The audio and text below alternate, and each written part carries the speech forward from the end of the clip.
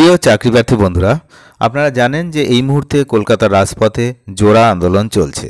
দু হাজার চোদ্দ টেট উত্তীর্ণ ক্যান্ডিডেটরা তারা অনশন করছেন, অবস্থান মঞ্চ তাদের হচ্ছে আপনারা জানেন, সেটা হচ্ছে করুণাময়ীতে।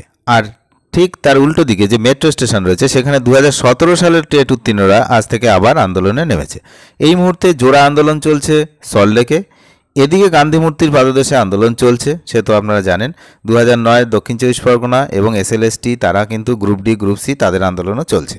তাহলে এত আন্দোলন চলছে, এর মধ্যেই মাননীয় মুখ্যমন্ত্রীর একটা গুরুত্বপূর্ণ বক্তব্য পৌঁছেছে। সেটা হচ্ছে, তিনি এবার মুখ খুলেছেন, এই যে দু এবং দু হাজার চোদ্দ সালের এই আন্দোলন নিয়ে, তিনি বলেছেন কারও চাকরি যেন না যায়। তো চাকরি চাইতে এরা এসছে, আর উনি মন্তব্য করেছেন কারও চাকরি যেন না যায়। তাহলে কোন বিষয়ে উনি করেছেন? হ্যাঁ নিশ্চয়ই তার কারণ রয়েছে। কয়েকদিন আগে দুশো জনের যে চাকরি আবার ফেরত দেওয়া হয়েছে সুপ্রিম কোর্টের পক্ষ থেকে, আপনারা জানেন। তো সেই যে রায়টাকে তিনি সাধুবাদ জানিয়েছেন। তিনি বলেছেন যে এই রকম এই রায়টা আমি খুবই খুশি হয়েছি, কারও চাকরি যেন না যায়, উনি তাই, সেটাই চান। এবং যা বলার, ওনার যে মন্ত্রী রয়েছেন, শিক্ষামন্ত্রী, উনি বলবেন, পর্ষদ সভাপতি যিনি আছেন, ওনারা বলবেন। তো চলুন বিস্তারিত আমরা এই ভিডিওতে দেখে নিই। যা বলার ব্রাত্য বলবে। আমি চাই কারও চাকরি যেন না যায়। বড় মন্তব্য মুখ্যমন্ত্রী মমতা বন্দ্যোপাধ্যায়ের। সল্টলেকের করুণাময়ীতে টেট উত্তীর্ণ চাকরি প্রার্থীদের আন্দোলনের চার দিনে পা। অনশনের চুয়ান্ন ঘণ্টা ধর্নার পঁচাত্তর ঘণ্টা পার। এখনও নিজেদের দাবিতে অনর। দু হাজার চোদ্দ টেট উত্তীর্ণ নট, নন ইনক্লুডেড চাকরি প্রার্থীরা। দু হাজার চোদ্দ টেট উত্তীর্ণদের ধর্না চলাকালীনই দু হাজার প্রাথমিক টেট চাকরি প্রার্থীদের বিক্ষোভ।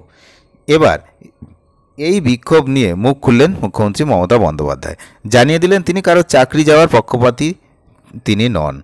এদিন মুখ্যমন্ত্রী মমতা বন্দ্যোপাধ্যায় বলেন, যা বলার ব্রাত্য বলবে, আমি বিস্তারিত জানি না। আমি আন্দোলনকারীদের ভালোবাসি, যারা ন্যায্য আন্দোলন করেন। আদালতে কেস চলছে, আদালতের নির্দেশকেও আমরা মান্যতা দিচ্ছি। আমি চাই কারোর চাকরি যেন না যায়। আমি তো যে খুশি, যে সুপ্রিম কোর্ট রায়টা দিয়েছে মানে ওই দুশো উনসত্তর জনের কথা বলা হচ্ছে। এরপর মুখ্যমন্ত্রী বলেন, যা বলার ব্রাত্য বলবে, আমি চাই কারও চাকরি যেন না যায়। শিক্ষক পদে সরাসরি নিয়োগের দাবিতে আন্দোলন চালাচ্ছেন দু হাজার চোদ্দ সালে টেট, উত্তীর্ণ, প্রশিক্ষিত, নট ইনক্লুডেড চাকরি প্রার্থীরা। প্রশাসনের বারংবার আবেদনেও অনর তারা প্রাথমিক শিক্ষক পদে চাকরির নিয়োগপত্র হাতে না পাওয়া পর্যন্ত তারা অনশন ও অবস্থান থেকে সরবেন না বলে জানিয়ে দিয়েছেন। যদিও এই চাপের মুখে নথি স্বীকারের যে কোনো প্রশ্নই নেই, বুধবার তা ফের স্পষ্ট করে দিয়েছেন প্রাথমিক শিক্ষা পর্ষদ। তাদের বক্তব্য, চাকরি পেতে গেলে ইন্টারভিউ দিতেই হবে। পর্ষদের এই বক্তব্যে সিলমোহর দিয়েছেন রাজ্যের শিক্ষামন্ত্রী ব্রাত্য বসুও। এবার আন্দোলন আরও জোরদার হলো, তবে উল্টোভাবে। করুণাময়ীতে দু হাজার চোদ্দোর টেট উত্তীর্ণদের পাল্টা অবস্থান দু হাজার সতেরোর টেট উত্তীর্ণ চাকরি প্রার্থীরা। মেট্রো স্টেশনের সামনেই অবস্থানে দু হাজার সতেরোর টেট উত্তীর্ণরা এবং দু হাজার সতেরো এবং দু হাজার চোদ্দ। পরস্পর পরস্পর বিরোধী যে বক্তব্য রাখছে তা নয়, ঠিক? তাদের মধ্যে কোনো গণ্ডগোলও নেই, এমনটাও তারা জানাচ্ছেন। তারা নিজেদের মধ্যে আবার বসতেও চাইছেন সমস্যার সমাধান করার জন্য।